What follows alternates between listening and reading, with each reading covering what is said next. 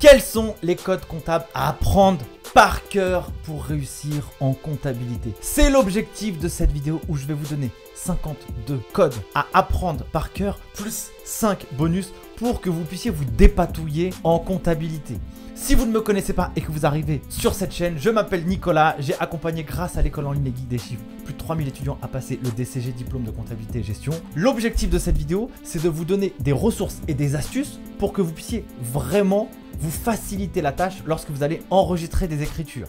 Je veux cette vidéo la plus pédagogique possible. N'hésitez pas à écrire en commentaire des écritures comptables en lien avec les codes comptables que je vais vous donner. Ou alors, évidemment, agrémenter cette liste. Moi, je l'ai limité à un certain nombre de comptes pour pas que ça dure 10 ans. Si vous avez des questions, n'hésitez pas évidemment aussi à les écrire. Moi, je vous dis, prenez place et c'est pas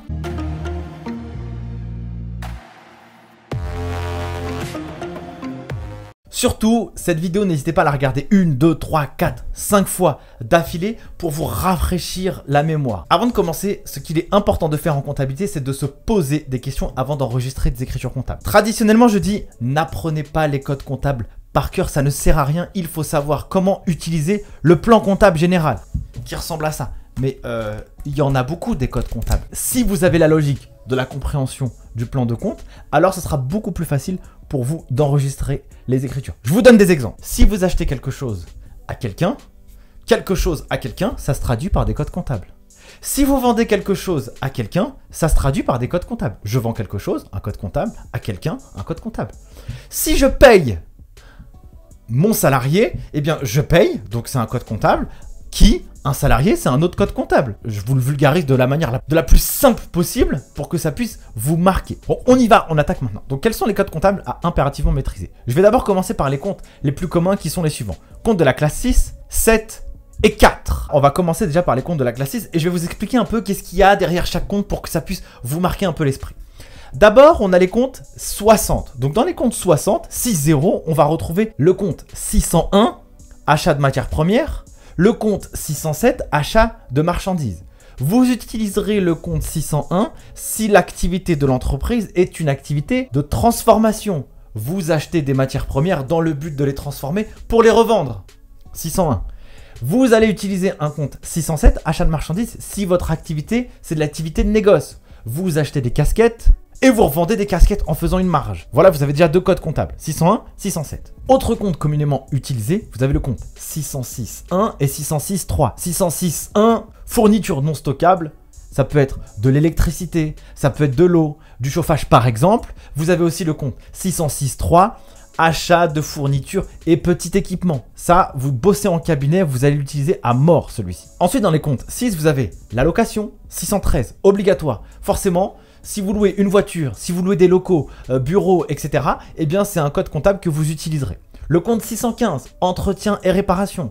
Vous avez un véhicule utilitaire, vous l'abîmez, boum, vous allez le réparer, hop, ça c'est possible. Vous allez réparer une serrure dans euh, les locaux, 615, entretien et réparation, par exemple. Si vous avez de la maintenance aussi sur euh, votre matériel informatique, 615. Autre code comptable, vous avez le 616, assurance. Vous avez des locaux? Assurance des locaux. Vous avez une entreprise, vous avez la responsabilité professionnelle, civile professionnelle. 616. Vous avez une assurance sur la tête d'un homme clé. 616. Après, il y a des codes comptables qui sont plus affinés. Moi, je vous donne la grande masse pour que ça puisse vous parler. Continuons dans les comptes de la classe 6. Vous avez communément le compte honoraire 622-6. C'est normal ça. Vous bossez avec un avocat, avec un expert comptable. Par exemple, vous utilisez ce code comptable. Donc forcément, si vous avez une entreprise qui sous-traite sa comptabilité à un cabinet, ce code comptable, il va, euh, il y aura des paillettes dedans, hein, ça c'est clair. Autre compte communément utilisé, on a les comptes 623. Ça c'est de la pub, de la pub pure et dure, des euh, campagnes Facebook, Google par exemple, euh, des publicités sur Internet, des publicités dans le journal, peu importe. Là-dedans, tout ce qui est pub 623. Ensuite, vous avez les comptes 625. 625, ça c'est de la, c'est du déplacement par exemple mission, réception, vous invitez un client à déjeuner, euh, vous allez vous déplacer dans le cas d'un déplacement professionnel, vous allez à l'hôtel, etc.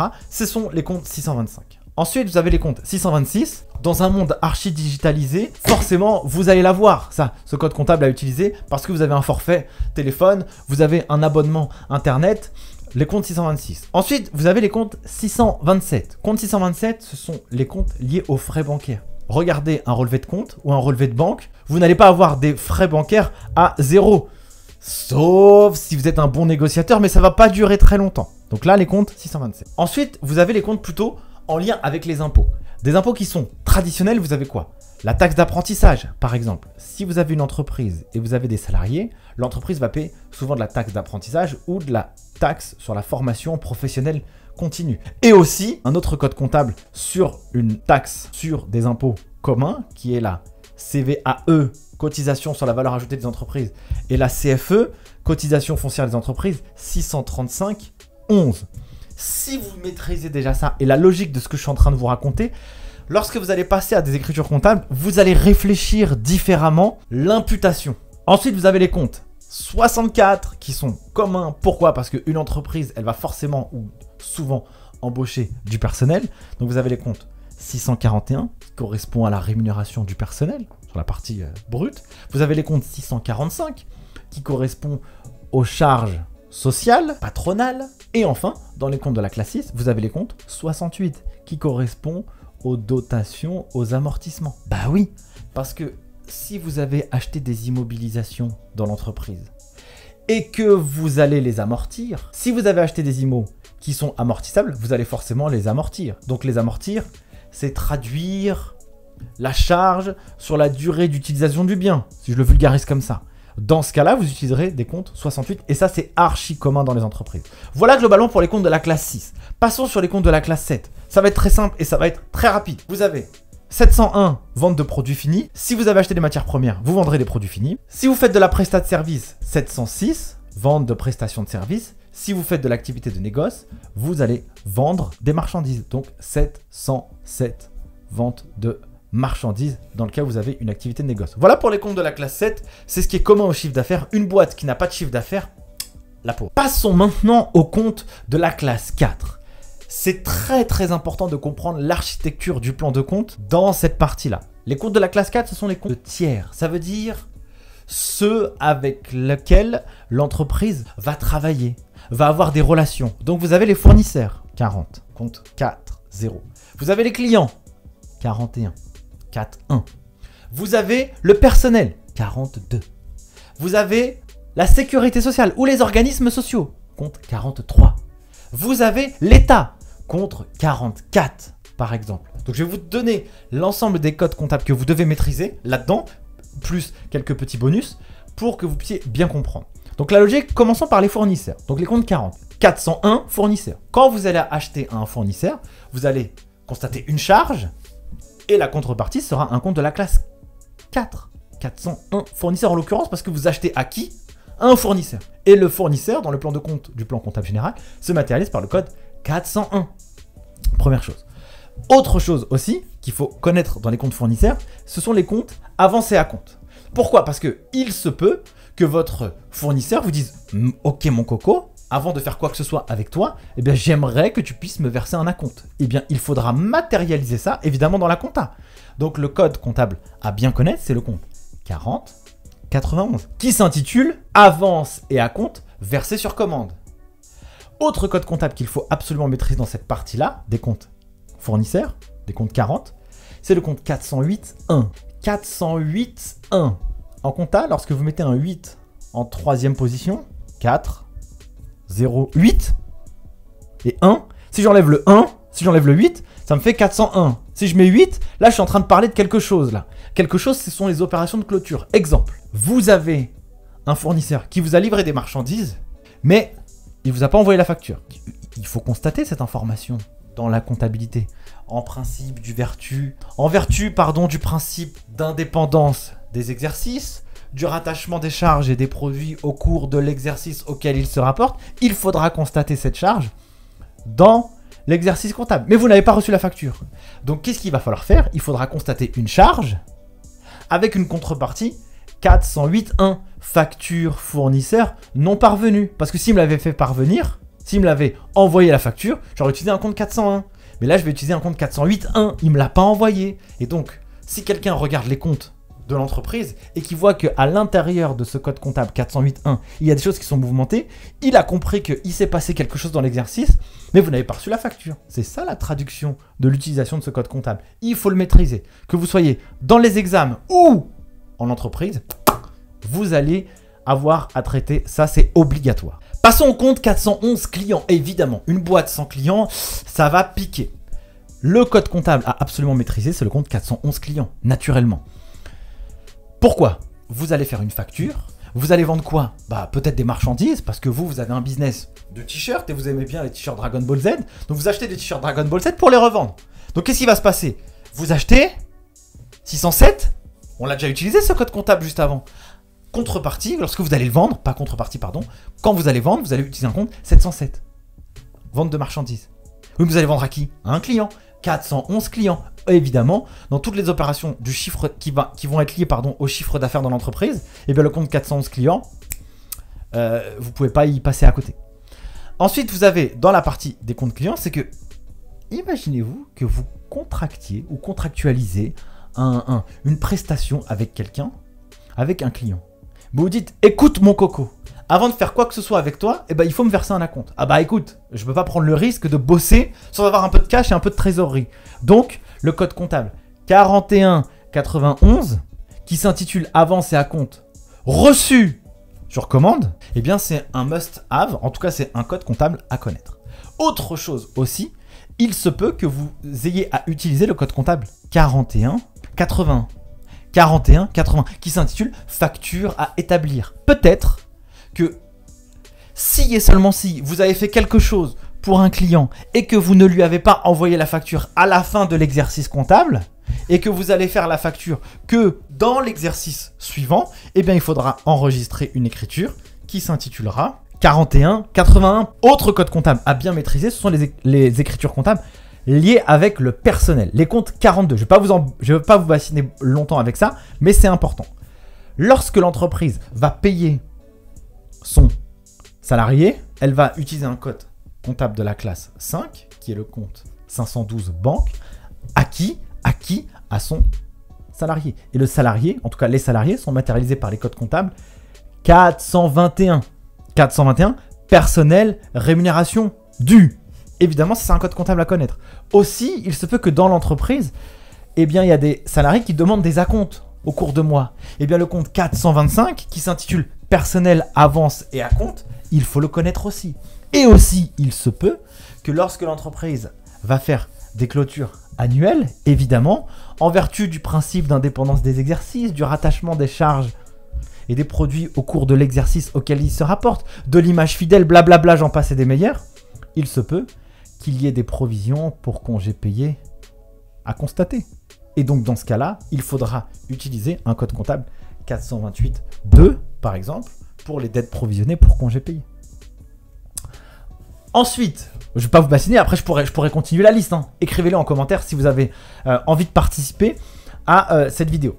Autre code comptable de la classe 4 à savoir utiliser, ce sont les comptes 43. Bah oui, vous avez euh, les fournisseurs, les clients, le personnel, mais quand vous allez payer votre personnel, enfin, il y, a des cocos là à côté qui exigent quelque chose aussi de l'entreprise. Eh bien, c'est l'URSSAF. Eh bien, c'est les caisses de retraite les caisses de prévoyance, de mutuelle par exemple. Donc dans ce cas-là, il faudra impérativement connaître les codes comptables 41, euh, les comptes 431, sécurité sociale, URSAF, hein. les comptes aussi 437, euh, organismes sociaux, qui eux dans les entreprises ce sont des codes comptables. Euh, c'est le patron, et puis dans les entreprises, il va y avoir des créations de sous-comptes comptables en respectant cette logique-là, qui dira bon bah la mutuelle c'est celle-là, la caisse de retraite c'est celle-ci, on va les nommer précisément en créant des sous-comptes comptables. Là, moi, je vous donne des codes comptables, des grandes masses du plan de compte, du plan comptable général. Autre chose aussi, évidemment, c'est que vous aurez également les comptes 438 à connaître. Dès lors que vous ferez des opérations de fin d'exercice en lien avec le personnel, eh bien, vous aurez comme je vous l'ai expliqué juste avant sur la dette pour euh, provision pour congé payé, eh bien aussi vous aurez des cotisations sociales en lien avec ça, donc les comptes 438 lorsque vous allez faire les opérations de fin d'exercice. Autre code comptable, et attention, tenez-vous bien, à bien maîtriser, ce sont les comptes de TVA. Si vous souhaitez en savoir plus sur la TVA, n'hésitez pas à aller en description de cette vidéo pour bien comprendre ce que c'est. Je vous ai fait une vidéo là-dessus sur la chaîne. Donc les codes comptables de TVA, évidemment, vous aurez quoi? Vous aurez les TVA sur les achats. Donc les codes comptables sur la TVA sur immobilisation, 44 562. Vous aurez la TVA déductible sur autres biens et services. Donc si vous achetez une IMO, par exemple, vous achetez un téléphone, il vaut, je sais pas moi, 800, 1000 euros, 1200, 1600. Il faudra l'inscrire en immobilisation et donc vous utiliserez une TVA sur IMO. Ensuite, vous aurez la TVA sur autres biens et services, 44 566. Lorsque vous allez acheter à un fournisseur, vous aurez parfois ou pas de la TVA. Et donc cette TVA, il faudra l'inscrire. Parce que lorsque vous allez acheter, il faudra raconter et découper toutes les histoires que vous allez découvrir sur votre achat. Vous achetez un fournisseur, vous allez avoir la charge, ce qu'il vous facture, des marchandises par exemple, 607. Aussi, il va, il va, il va mettre de la TVA. Alors si c'est euh, si c'est quelque chose de traditionnel, si c'est un achat normal en France, on se prend pas la tête avec des trucs un peu particuliers, eh bien il vous mettra la TVA. Il faudra l'indiquer aussi dans l'écriture comptable. 44 566. À qui? À un fournisseur. 400. Bref, je vous fais l'écriture comme ça. Donc ça c'est à connaître, évidemment. Ensuite sur la partie TVA, ce qu'il va falloir impérativement connaître, c'est la TVA collectée. 44 571, évidemment. Et enfin, les deux codes comptables qu'il faudra maîtriser, eh bien ce sont les codes comptables 44 551, TVA décaissée. Ça veut dire que lorsque une entreprise va faire une déclaration de TVA, elle va dire est-ce que j'ai plus de TVA collectée que de TVA déductible Si j'ai plus de TVA collectée que de TVA déductible, la différence est de la TVA payée. C'est de la TVA décaissée. 44 551. Inversement, si j'ai plus de TVA déductible que de TVA collectée, alors, alors, c'est un crédit de TVA. 44 567. Je regarde bien mes notes pour pas raconter n'importe quoi. Voilà la règle. Évidemment, sur la TVA, il y a les opérations intracommunautaires. Euh, je ne vais pas vous en parler dans cette vidéo, mais en tout cas, ça existe. Voilà. Autre code comptable à connaître dans les comptes de la classe 4, vous avez les comptes 45, qui est le suivant. 455, qui est associé compte courant. Exemple, vous êtes dans une entreprise, et souvent ça se passe beaucoup dans les TPE, les PME, où vous avez l'entrepreneur qui soit achète avec son argent personnel quelque chose, donc exemple, je sais pas moi, il a acheté euh, euh, un iPad, il l'a ramené dans l'entreprise parce que c'était un besoin, parce que euh, on veut faire une caisse enregistreuse, enfin bref, on veut faire quelque chose avec l'iPad. Eh bien, l'entrepreneur, il achète, il paye avec sa carte bleue, la facture au nom de l'entreprise, et bah du coup, l'entreprise va devoir de l'argent à l'entrepreneur. Bah oui, c'est lui qui a payé l'iPad pour un outil qui est utilisé dans l'entreprise. Exemple. Et vous avez aussi un autre exemple. La boîte, elle a un peu de problème de trésorerie, elle a un peu de problème de cash. Qu'est-ce qui se passe? Eh ben, l'entrepreneur, il dit vas-y, je vais mettre 10, 15, 20, 100 000 euros de mon argent personnel dans l'entreprise. 451 associé compte courant. Ensuite, j'en termine définitivement avec les comptes de la classe 4, où vous aurez les comptes 48. Exemple, charge constatée d'avance 486, produit constaté d'avance 487. Je vous donne un exemple sur ce que c'est les charges constatées d'avance, vous avez un contrat euh, de maintenance. Le contrat de maintenance, il court novembre, décembre, janvier. Trois mois. D'accord 1000 euros. Euh, 3000 euros, il est, le contrat. 3000 euros. On clôture, nous, au 31 décembre. Donc, en vertu du principe d'indépendance des exercices, je rattache les charges et les produits au cours de l'exercice auquel il se rapporte. Il y a un mois, je dois le virer de mon exercice. Pourquoi? Parce qu'il y a une charge qui correspond à mon année suivante. Moi, en compta, qu'est-ce que je vais faire quand je vais enregistrer? Je vais recevoir mon, ma facture de mon contrat là, de maintenance, si c'est ce que j'ai dit, je pense. Contrat de maintenance. J'enregistre en charge 3000 euros. Sauf que je peux pas enregistrer 3000 euros en charge. Ça, ça va pas. Parce qu'il y a 1000 euros qui correspond à mon exercice suivant. Donc je devrais faire une écriture de régularisation en utilisant ce compte 486. Donc moi, si je regarde les comptes de l'entreprise d'un point de vue externe et que je vois, ou que j'audite la boîte, ou que je contrôle la boîte, et que je vois que j'ai ce code comptable qui est mouvementé, hmm, je vais me dire, vous avez enregistré, messieurs, madame, des charges qui correspondent à l'exercice suivant. Ok, ah, montrez-moi les justificatifs, par exemple. Voilà, voilà pour, globalement pour les comptes 4. J'espère que c'est pas trop long. Là, je suis en train de, m'enflammer totalement. Ensuite, quels sont les autres codes comptables à maîtriser? On va évidemment un tradit. Mais celui-là, franchement, euh, le compte, euh, le seul compte à maîtriser dans les comptes de la classe 5, c'est le compte 512 banque. La banque, c'est la vie, quoi. La banque, c'est la vie. Exemple, exemple, vous payez un fournisseur Avec quoi? Avec la banque. Vous faites un virement bancaire. 401, 512. 401, 512. Je fais le guignol là comme ça, exprès avec ma tête, mais c'est pour vraiment vous marteler l'esprit. Ensuite, vous allez recevoir de l'argent de la part d'un client. 512, 411. Et voilà, c'est ça. C'est la vie, c'est comme ça. Vous devez jongler avec les écritures comptables pour kiffer un peu. Maintenant, on va parler des comptes de la classe 1, 2 et 3. Je vais commencer par les deux. Vous voyez, c'est un peu décousu, mais c'est pour... En fait, j'impulse surtout sur l'importance des comptes que vous allez utiliser dans le volume que vous allez traiter en comptabilité. Donc le, le compte, les comptes de la classe 2, ça va être quoi? Ça va être les comptes qui sont liés aux immobilisations. Exemple, un des codes comptables les plus communs, vous avez le code comptable 205 si vous achetez un logiciel. 205, ce sont les immobilisations incorporelles qui ne se touchent pas, qui n'ont pas de corps. Un logiciel par exemple. Vous avez aussi des autres codes comptables. Vous avez du matériel de transport. Si l'entreprise achète un véhicule, eh bien elle va l'immobiliser, elle rentrera son matériel de transport à l'actif du bilan et donc ce sera un compte de la classe 2. Vous avez aussi le matériel de bureau et informatique. Je vous ai donné l'exemple tout à l'heure avec l'iPad. Donc ça, typiquement, vous allez avoir 21 83 matériel de bureau et informatique. L'iPad, vous achetez un ordi, vous achetez un téléphone, par exemple, ça va rentrer dans ce code comptable et ça c'est archi commun. Et évidemment, évidemment, quand vous allez acheter des IMO, vous allez aussi les amortir. Et comme vous allez les amortir, vous utiliserez le code comptable que je vous ai expliqué en première partie de vidéo sur les comptes de charge, le compte 68, dotation aux amortissements. Et bien quelle sera la contrepartie? Pardon, je suis en train de taper dans le micro. Quelle sera la contrepartie? Vous aurez le compte 28. Quand on fait des amortissements, on va utiliser un compte 68, contrepartie 28. On va amortir quoi? Une IMO. Et quand on parle d'amortissement d'IMO, en comptabilité, dans le plan de compte du plan comptable général que vous voyez juste ici, eh bien vous utiliserez les comptes 28 et je vous laisse regarder la ventilation directement.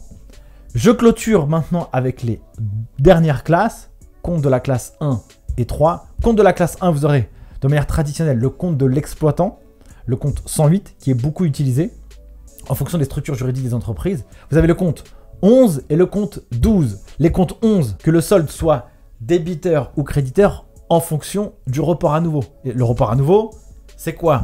C'est la somme des résultats des exercices antérieurs. Exemple, en année 2000, on est en, quelle date? Au moment où je fais cette vidéo En 2021. Au moment où je fais cette vidéo, on est en 2021. Vous clôturez l'exercice. D'accord? En 2020, vous aviez un résultat. Exemple, 100 euh, 000 euros.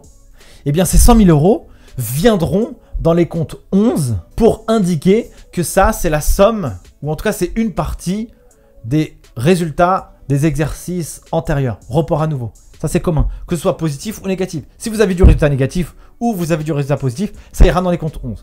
Ensuite, lorsque vous allez clôturer les comptes de l'entreprise, vous allez aussi déterminer et trouver le résultat de l'exercice. Est-ce qu'il est positif ou négatif ça, ça, ça va s'enregistrer dans les comptes de la classe 12. Ok? Donc je vous invite à aller approfondir ou écrire en commentaire le compte de la classe 12 quand il est positif ou quand c'est un bénéfice ou que c'est une perte. Et enfin, vous avez les comptes de stock, les comptes de la classe 3, donc 31, 35 et 37. Compte de stock 31, c'est quoi? C'est les stocks de produits finis. Les comptes 35, que je me trompe pas. Non, pardon. Les comptes 31, vous avez les stocks de matières premières. Les comptes 35, les stocks de produits et les comptes 37, les stocks de marchandises. Pour clôturer, je vais vous donner les derniers codes comptables en bonus. Vous avez évidemment les écritures de variation de stock que vous devez maîtriser quand vous avez une activité de négoce, euh, quand vous avez une activité industrielle, eh bien, il va savoir utiliser les comptes 63 qui sont les variations de stock ou les comptes 71.3 aussi qui sont les variations de stock. Et enfin, vous avez également euh, en comptabilité la possibilité de passer des dépréciations, ce qui est possible. Dans ce cas, il faudra utiliser les comptes 29 quand ce sera les dépréciations d'IMO, les comptes 39 quand ce sont des dépréciations de stock, les comptes 49 lorsqu'on va parler de dépréciation sur la partie opération avec les tiers, en l'occurrence par exemple les clients. Voilà pour cette vidéo, j'espère que ça vous a plu. En tout cas, moi j'ai kiffé l'affaire. Si vous avez des questions, n'hésitez pas à les écrire en commentaire. Si ça vous a fait kiffer et que vous souhaitez nous aider avec cette chaîne, eh bien, n'hésitez pas à la partager, à en parler autour de vous. Et puis moi, je n'ai qu'une seule chose à vous dire, eh bien, à bientôt et prenez soin de vous. Ciao